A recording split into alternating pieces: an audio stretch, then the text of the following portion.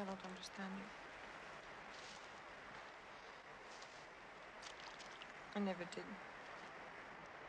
I'm asking you to leave, Ella.